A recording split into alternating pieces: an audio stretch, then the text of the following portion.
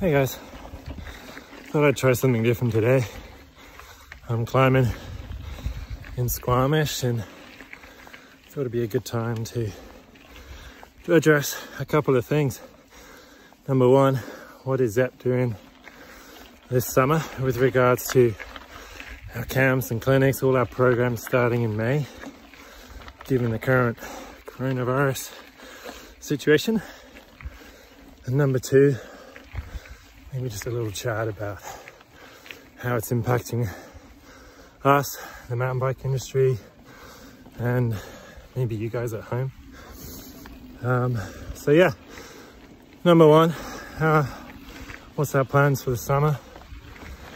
Well, right now, all the ZEP programs really start late May, so we have about two months.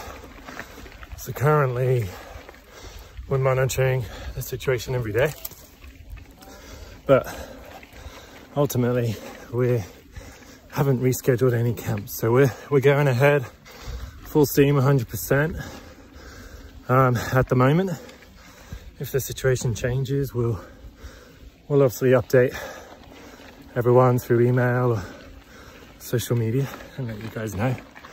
As early as we know. Um, I think for mountain biking and coaching you know, if, if we move forward with our programs at their scheduled time, you know, we we obviously have some policies and procedures we're going to put in place, making sure we keep a good distance between students, instructors and students, coaches and students, student to students, not touching equipment, not touching each other's bikes, small group sizes, which we've always specialized in with ZEP anyway. We never really have any more than four, maybe five students in a group. Um, so the plan is to move ahead, um, but move ahead with smart decision making and putting those sort of common sense policies into practice. Um, and like I said, if it changes, we'll let you know. Um, next thing, you know, how is this current situation with COVID-19 impacting the mountain bike industry and definitely a lot of changes going on. Already working with our sponsors for gear this year. They've been really understanding. Um, we really appreciate the continued support from our sponsors. Um, Transition Bikes, Shimano, a whole list of them on our website. So thanks guys. We'll we'll keep in this together and we'll keep moving forward however we need. Um, i think for coaching the first goal of any coach is to ensure safety manage risk. So in zep that will be our goal moving forward as always. And kind of in a unique situation in that learning to ride bikes into an outdoor environment there isn't any need for physical contact. Like I said before, small group sizes. So we're, as it stands right now, we're, we're pretty confident that come late May, early June, when our programs begin, we'll be able to proceed and still deliver safe, a safe environment for our students to ride and learn in. Um, we often one of our big goals in ZEP is uh, if we have to, in a way, you know, if we have to hold your hand or spot you when you try something new, just uh, you're not ready for it. We always try and build our clients up with good skill analysis, um, break down things into small progressions so that when you try that drop off or that rock roll for the first time, you uh, you don't need a spot a coach to stand there and spot you in case you should fall. So we really try and empower our students to learn independently from the coach and we provide a learning environment that lets our students do that safely. So those are just some of the thoughts, ideas as we move forward into mid-late March here. And again, if things change, I'll let you guys know. We're monitoring it every single day. Um, how this impacts us. you know, at home. It's definitely, definitely different when you think of your home environment. Kids aren't in school at the moment. Doesn't look like they're going to go back to school. Restaurants, businesses are closed. I think the big thing that's freaking people out is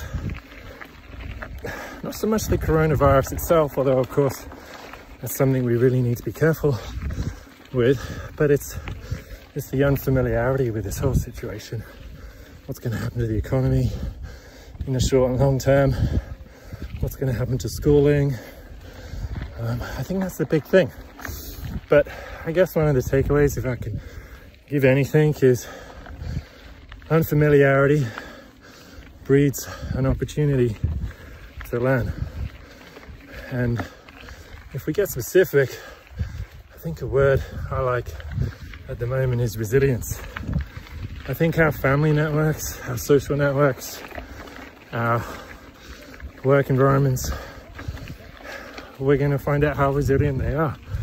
And I think it's okay to be a little bit nervous it's natural. None of us have really been in this position before and maybe try and look at it from the other side and there's a chance to see how resilient you can be, uh, your family can be and an opportunity to learn from that and get strong from that. And it's kind of cheesy. It's all these cheesy Instagram posts at the moment. But one thing I really liked this morning I saw on Tiny Seagray's post, she said, uh, she had a quote there and it said something like, um, things will always get better in the end. And if they're not better yet, it's not the end. So cheesy, but good. You know, you'll be surprised. You might be more resilient than you think. Same with your family. And if not, try and find some ways to be more resilient. So for me, I'm a little stressed at the moment.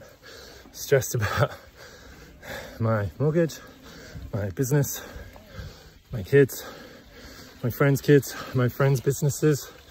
Whistler is a tight community. A lot of us run our own businesses.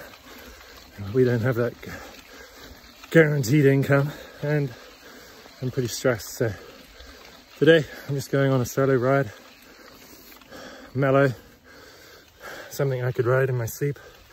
So there's no risk of me hurting myself and putting extra strain on the health system. That's another conversation, but that's our goal right now. Unless you really absolutely, utterly have to go to the clinic, don't. Chances are you're gonna be fine.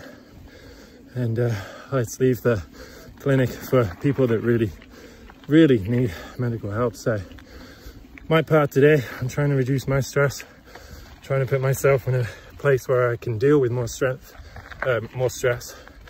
That's me being more resilient. The way for me to do that to get some exercise, feel healthier, and then I can go back to my family, my kids, my business, and tackle it and uh, see this thing through. So, a bit heavy there, but you know, heavy times. uh, enjoy yourself today. Find something positive.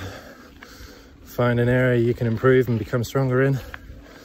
And uh, yeah, we'll, uh, we'll figure this out. Hopefully see you guys in May. Keep in touch.